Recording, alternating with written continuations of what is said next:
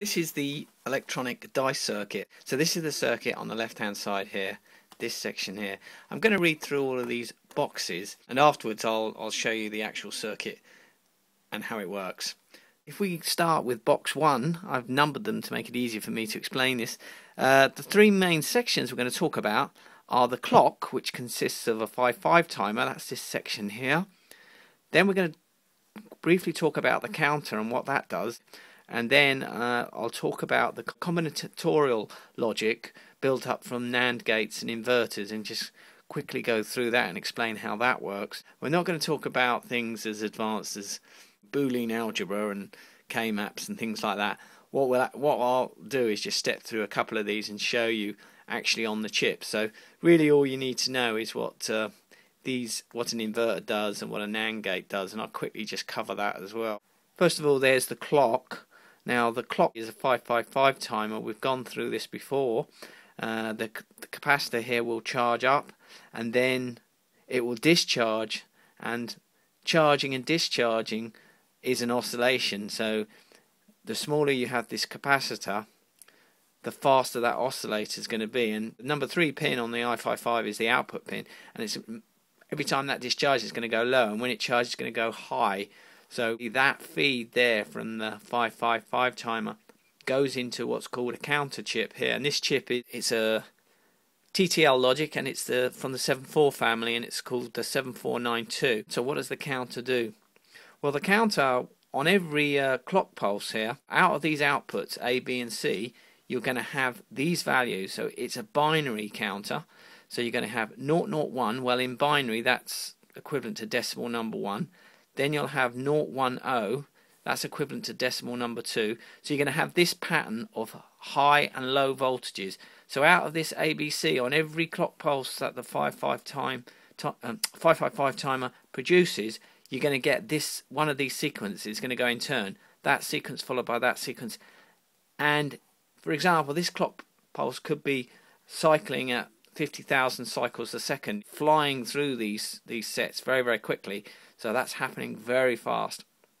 So on the first, uh, for number one, we got 001, 010, all the way down to 6, which I've placed to be 000 here. This is a divide by 6 counter. So basically, when it when it clocks 6 times, it then goes back to the beginning. So I'm going to let 6 equal 000. On this side here, we're going to define what the lamps are.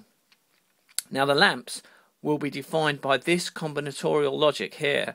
So uh, when, for example, this these lamps here will basically be the physical. So I've got BC. That means B and C will go on together. So here we see we've got B and C. So when we get when we're on the clock state number two, which is 010, that needs to make sure that both the lamps B and C are lit up. So that one and that one.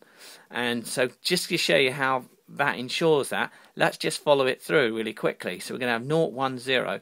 So here we've got the C is 0, the B is 1, and the A is 0. So let's look at the A first. So the A is 0, and when we go into, what does an inverter do? Well, an inverter just inverts whatever the voltage is on this side, inverts it. So if you've got a high voltage, which um, in this case we haven't, we got a low voltage. So if we've got a low voltage here, for this number here for, for BC, then we're going to have a high voltage at 2. If we've got a high voltage at 2, then that's high. It means that these lamps here are being fed by a 5 volt line here going down. So that basically, for current to flow, it needs to have a smaller voltage than the 5 volt here. Otherwise current can't flow.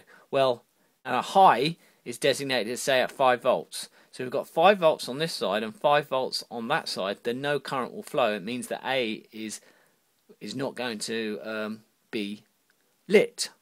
So let's look at number B. So we know that A is not lit. So let's look at what, what B will do. Well, B here is 1.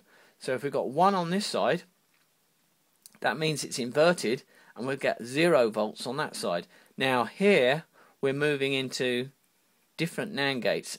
This will go into this NAND gate and it will go into this NAND gate. So at this NAND gate, uh, we are at, what did I say it was? You've got to keep step of this. So that's 1 on that side, 0 on that side. We're at 0 on this side, on this number 3 for this NAND gate. So let's just write that down so we'll remember when we do the others. So we're 0 here at the moment. And on this one, we're going to be 0 there as well, of course. So 0 volts on those inputs. So we've got those written down. Before we can carry on, we need to know what these other inputs are.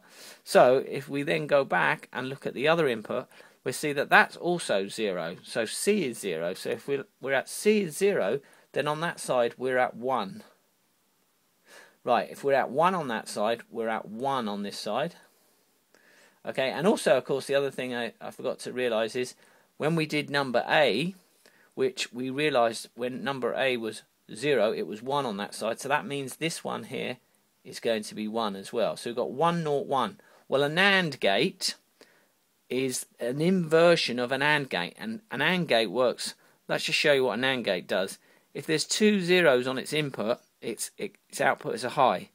If there's a 0 and 1 on any of its inputs, its output is high. The only time its output will be low is when we're all the inputs are 1. I've only shown two inputs here, but it applies to any number of inputs. So if there's three inputs, they will only ever be, uh, be a 0 volt on the output if all of them are high on the input. So in this case, we've got we've got two that are high and one that's 0 on the input. That means that that NAND gate will be a 1 on the output because of this condition here. So we'll place 1 down here just so we know where we're going. We've got 1 here now that means that with a 1 here, you can see I'm going to have a 1 there.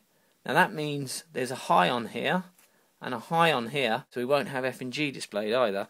So we've got a 1 here, that means we've also got a 1 on this NAND gate.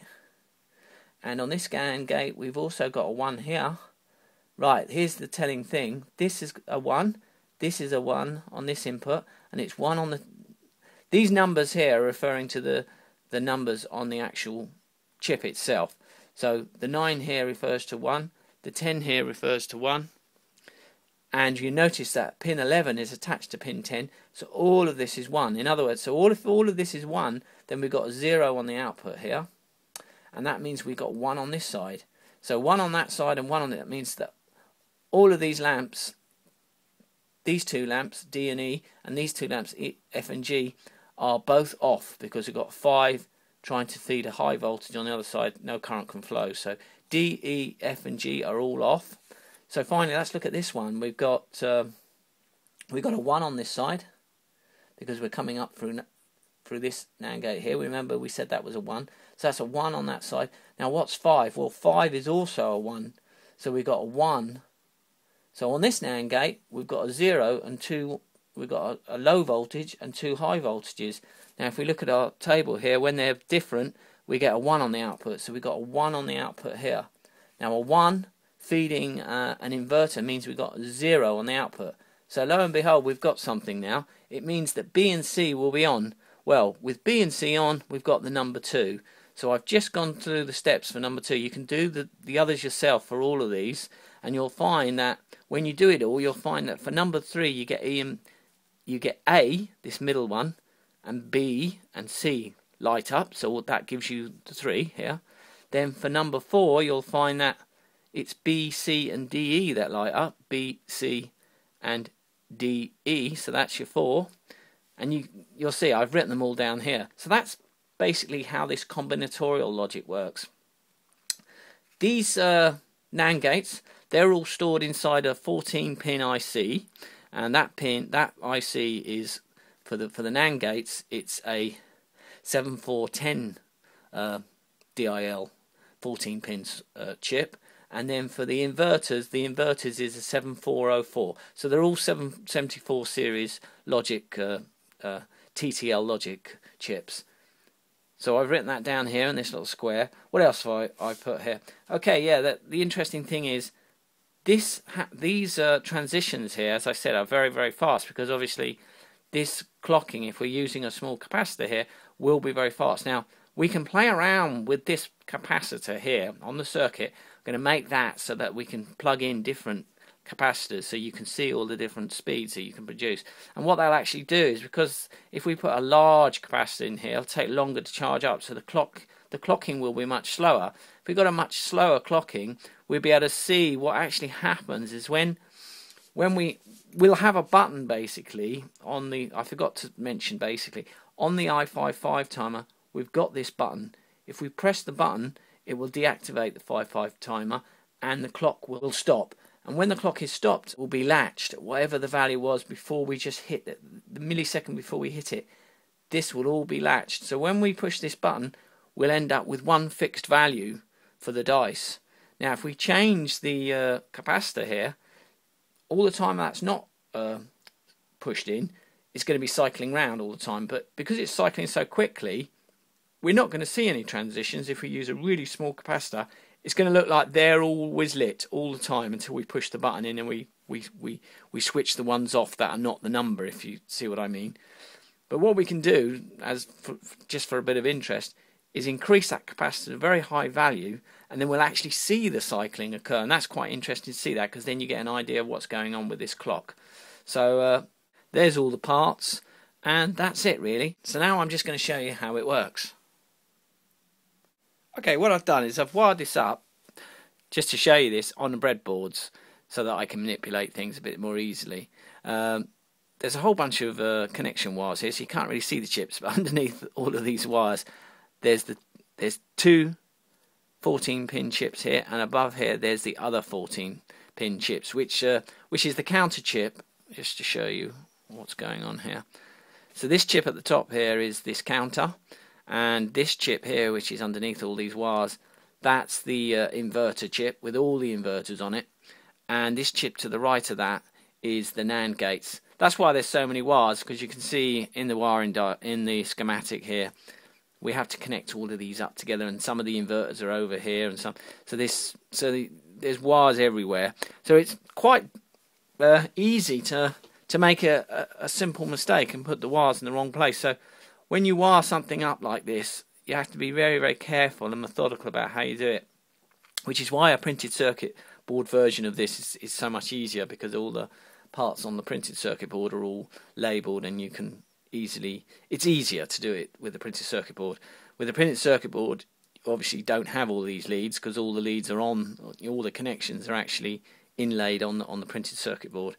But for the for this demonstration, I'm just going to show it on a breadboard. Uh, so what we'll do is we'll just put the battery on, and you'll see the default way that this circuit works, and I'll explain what what that is in a second. Okay, so what what we're actually seeing now is all of these lamps in this diagram here, B, F, D, E, F, they're all being lit. Now it appears to the human eye that they're all lit, they're all permanently lit, but what's actually happened, the actual cycle that we were talking about, all of those cycles running through, is happening so fast, it just, due to the persistence of vision, it looks like they're always on but they're not always on, and I'll show you, I'll prove to you that they're not always on uh, in, in, a, in a little while. But first of all, I'm just going to show you the default way that this works.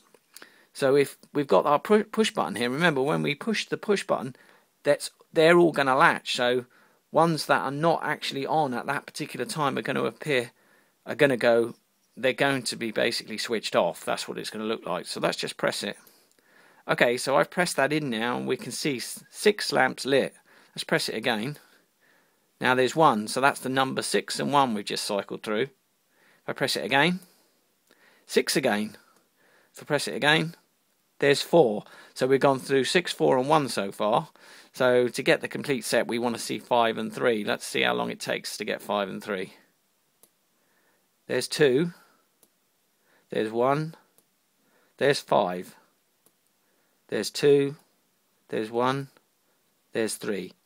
There you go. We've gone through all of them. One, two, three, four, five, and six. So that's your dice. So if you want to roll a dice, you just press it, and then you can roll your dice. So that's all it does. So that's the circuit. Now what I want to show you is the fact that at the moment you can't see that they're all changing. But they are all changing, and the way we can prove that is to put in a large capacitor and then you'll see it cycling through because what we're going to do is change this C2 so it's very very large so it takes much longer it means the clock is much much slower so we'll actually be able to see the transitions except um, unlike what we're we're looking at at the moment, we'll be able to see those transitions. So let's put this capacitor in. So I've just got to see where I place it. Okay, it's there, and let's just make sure that that's in properly. Now this is an electrolytic capacitor, so it's important that you put the the negative side into the ground. And there you go, it's cycling through now. I've just connected that capacitor. That capacitor is a 1000 microfarad, so obviously that clock's running really slow now. So there's three, there's six. It's actually slower than when I was pressing it. There's four. There's two. So I mean, it's it's about two or three seconds between each um, transition. So there you go. You can see that, that that actually is running all the time, even though you couldn't see it before. It's running all the time. So let's take that capacitor out. So now it's running so fast you can't see those transitions, but let's put another one in so it's a little bit faster so you can actually see it transitioning a bit quicker. So this one here although you won't be able to actually read the individual numbers now because it would be moving just that little bit too quick for that but it's but it show you there you go. So now you can actually see that they are transitioning but it's so fast you can't make out the individual transitions. I just wanted to show you that. So that's quite good. So you can play around with that as well. You can get some capacitors and just change capacitors. If you're giving a demonstration to to someone a friend or something you can you can show them that uh, so that's the circuit. Of course, when this is in the uh, the tin, it's uh, a lot smaller than this. The circuit board is much much smaller than all of this. Uh, this is all spread out because it's on a breadboard. Uh, it's actually quite a small a small circuit once it's all contained inside the circuit board. So that's that that there is the electronic dice circuit.